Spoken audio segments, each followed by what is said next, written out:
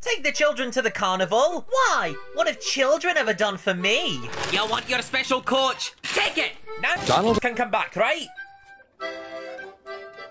Wrong. That isn't my special coach. And have some more coaches! I got plenty of them! You can't put a price on my special coach. And I won't forget that thieving agent Donald. for stealing it.